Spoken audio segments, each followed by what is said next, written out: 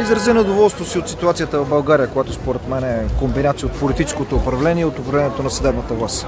Тук в България депопулация, пълно учение. Аз моят университет съм завършил политически науки от 60 човека, група 20 са останали в България. Всички са по чужбина да пържат картофи, да сменят памперси и така нататък.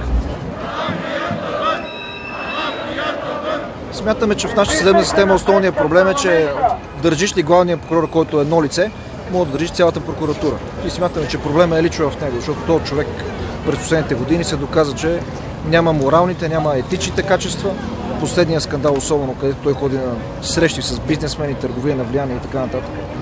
И смятам, че това нещо не е нормално. Например, в Румъния, където нали, така наречената национална агенция, тя не е нещо, кой знае какво по-различно, но там първото лице е, е друго. И това е проблема. Главният прокурор стои ли, той в момента може да блокира всяка проверка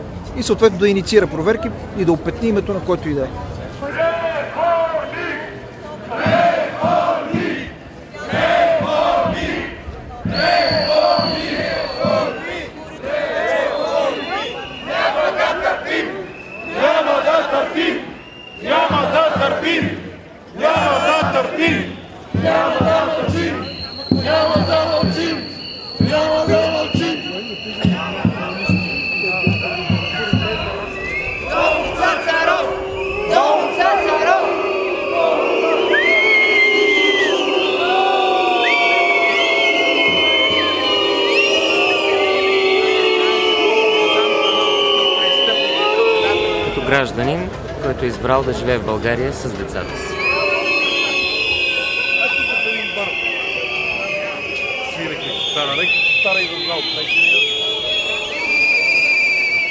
Тук съм, тъй като а, искам да подкрепя онези хора, за съжаление все още са младсинство, които се борят против задколисието в правораздавателната система, а тя е в основата на всичко, което ни заобикаля.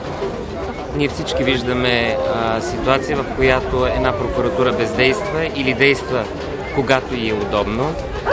А, също времено наблюдаваме депутати, които, като господин Певски, които а, видимо и по-късно за всички нас разполагат с ресурси, които за нас е необяснимо откъде са дошли.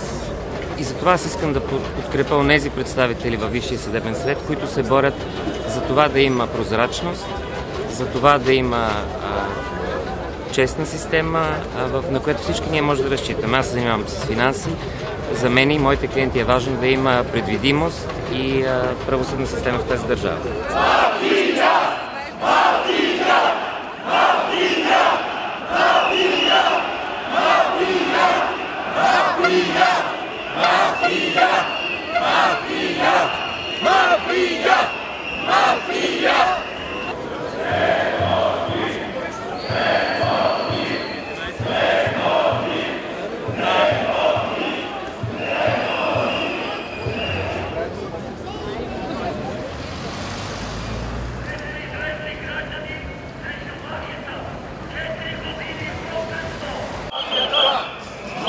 love your town.